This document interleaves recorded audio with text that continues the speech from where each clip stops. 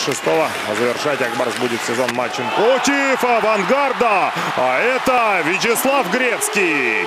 От борта бросает и шайба по какой-то неизведанной траектории вылетает в дальний верхний угол ворот Амира Мифтахова. 4-3 Амур в игре.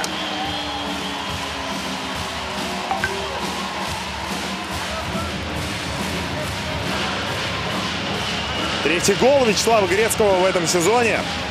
Пятое набранное очко. Но какое важное. Давайте посмотрим еще раз. Шаров вбрасывание вроде бы и проиграл, но Грецкий бросает. Изумительное попадание. Был рикошет или нет? Давайте рассматривать. Но если и был, то только от клюшки Артема Галимова. Но вот с этой камеры кажется, что прямым броском в дальний верхний, просто в девятку шайба влетает.